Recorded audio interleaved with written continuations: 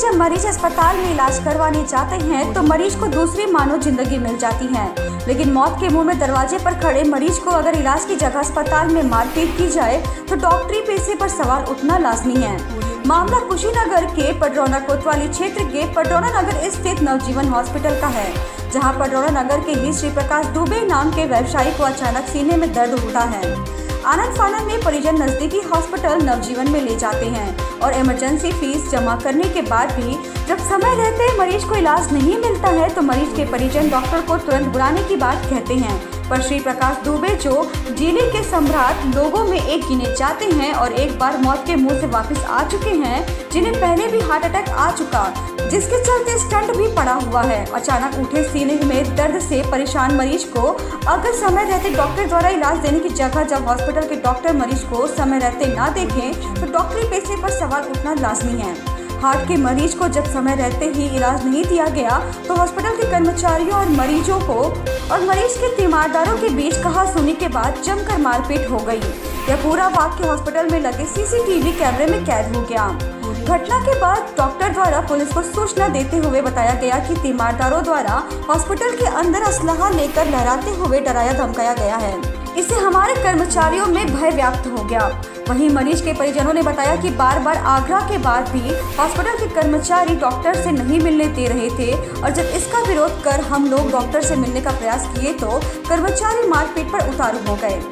हालाँकि CCTV footage में कहासुनी के दौरान एक व्यक्ति के हाथ में पिस्टल दिख रहा है। फ़िलहाल इस पूरे मामले पर पुलिस अधीक्षक ने बताया कि मामला संज्ञान में है। कुछ लोगों द्वारा जानकारी भी दी गई है। थाने पर डॉक्टरों द्वारा दिए गए तहरीर के आधार पर मुकदमा पंजीकृत कर कुछ लोगों को हिरासत में लेकर जेल भेज दिया गया। लेकिन पुलिस के कार्यवाही पर मरीज़ श्री प्रकाश दुबे ने सवाल खड़ा किया है कि बिना एफआईआर दर्ज किए मुझे गिरफ़्तार किया गया है और अगले दिन एफआईआर दर्ज कर जेल भेज दिया गया। कहीं न कहीं पुलिस हमारे साथ जाति कर रही है। फ़िलहाल मामले का पुलिस जाँच कर उचित कार्यवाही की बात कह रही है। लेकिन एक हार्ट के मरीज़ का इलाज न करना, फिर मारपीट करना, फिर उसके बाद मरीज़ के ही तीमारदारों को जेल भेजना, कहीं ना कहीं प्राइवेट हॉस्पिटल में चल रहे डॉक्टरी पैसे को अपने पैसे से उल्टा काम करते हैं, जैसे कुशीनगर में देखने को मिला। माना जाता है कि एक डॉक्टर के पास किसी की जान बचाने या उसे बेहतर ज़िंदगी देने का हुनर होता है। ऐसे में इस तरह की घटना का सामने आना एक चिंता का विषय है। देखिए सर, उस दिन मेरी तबीयत बहुत ख़राब थी। और मैं, मेरा बाईपास सर्जरी हुआ है हार्ट का, और मैं पेशेंट हूँ। मेरे सीने में बहुत पेन था। तो मुझे इस बात का डर हो गया था कि मुझे दोबारा हार्ट अटैक हो गया है।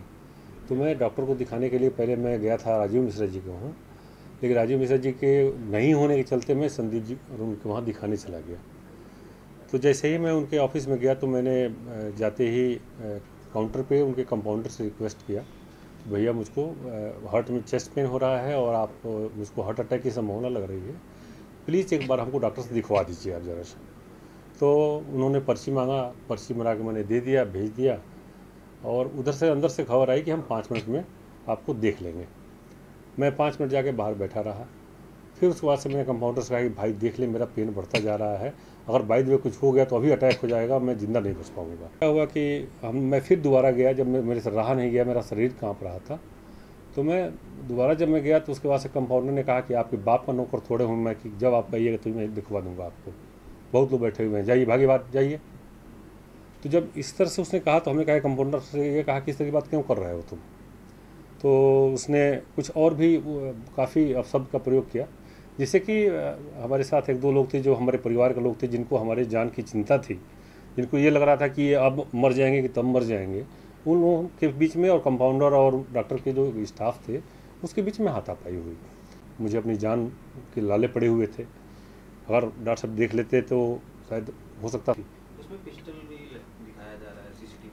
सर देखिए पिस्टल तो दिखाया नहीं जा रहा। पिस्टल का क्या है? पिस्टल मेरे पास थी। तो जब मेरा शरीर काँप रहा था तो अंदर घुसते वक्त मैंने अपने बेटे को पिस्टल दे दिया। तो वो पिस्टल ऊपर ऐसे रखा हुआ था। तो चूँकि उसको पिस्टल रखने की आदत नहीं है तो उसने जो है धीरे से मतलब ऐसे निकाला और निकाल करके मैंने उसकी नीयत पिस्टल दिखा करके और किसी को डरवाने या हड़काने की नहीं थी। आ, लेकिन ये नहीं था कि हम लोग जो है उससे उस पिस्टल से भय का माहौल बना करके और इसलिए कि हम हम लोग संस्कारी लोग हैं और परि, हमारे परिवार में बहुत दिन से असलाहा है और कहीं इस तरह की कभी कोई घटना लाइफ में घटी नहीं है कि हमने उसका कभी दुरुपयोग किया हो असलाहा। लेकर उस पर क्या कुछ कर रहे हैं? एक डॉक्टर के हॉस्पिटल में मरीज़ के रूप में अपने को दिखाने के लिए कुछ लोग गए थे। उनके साथ कुछ और व्यक्ति थे। वहाँ रिसेप्शन पर बैठे हुए आदमी से कुछ वाद विवाद हुआ। तो वीडियो में ये दिखाई पड़ रहा है वीडियो क्लिप में कि ये लोग घुस करके रिसेप्शन पर बैठे हुए लोगों से हाथापाई करते हुए उनको थप्पड़ पर मारने लगे। मारपीट में डॉक्टर साहब वहाँ पे आते हैं और उनको झगड़े को सुलझाने का प्रयास करते हैं और फिर ले जाते हैं उनको ट्रीटमेंट देते हैं। इस संबंध में तहरीर आई हुई है। हाँ एक चीज़ और बतानी थी कि मारपीट के दौरान एक आदमी के हाथ में लाइसेंसी रिवॉल्वर भी दिखाई पड़ता है, जो निकालता है, धमकाने के लिए। इस संबंध में मुकदमा थाने पर पंजीकृत कर लिया गया है। जो लोग इसमें नामित थे उनको अरेस्ट किया गया है और न्यायालय भेजा गया है। बाकी लाइसेंसी असलहे की तलाश की जा रही है और देखा जा रहा है किसके नाम लाइसेंस है और कैसे किसके पास पहुँचा है। उस संबंध में लक्ष्य कार्रवाई की जाएगी।